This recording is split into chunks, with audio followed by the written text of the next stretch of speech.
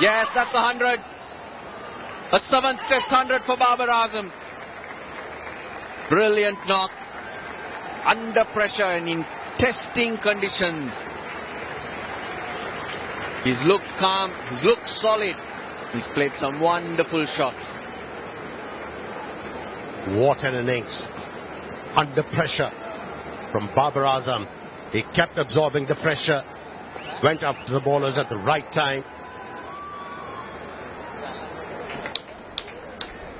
If ever as a batsman you're going to get a visual satisfaction is playing an innings like this in a situation which is dire.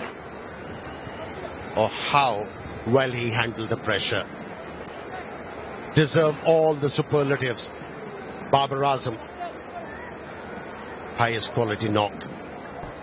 Yeah, if anyone had doubts that the game was going nowhere, now have a look at it. 23 runs behind Babar